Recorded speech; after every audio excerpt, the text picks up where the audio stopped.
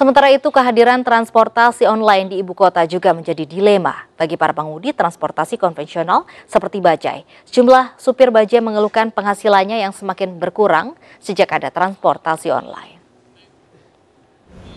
Keberadaan bajai sebagai kendaraan transportasi yang menjadi ikon kota Jakarta kian terpinggirkan.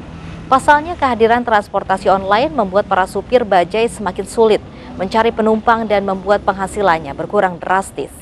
Salah satu penyebab larinya masyarakat kepada transportasi online adalah tarifnya yang lebih murah dibandingkan dengan kendaraan konvensional seperti bajai. Sebenarnya sebenarnya harus apa bagi-bagi lah gimana. Jangan sampai udah bajai ini kasihan yang yang ngambil kreditan kasihan. Bos-bos bajai ini jangan sampai gulung tikar. Kasihannya itu doang.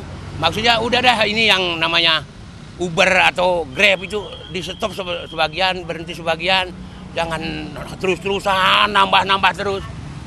Iya kendalanya kan dia kan murah, saya mahal. Karena saya kan restoran, restoran saya mah, restoran seratus ribu sehari ini. Iya berharap begitu, nyimbangin aja.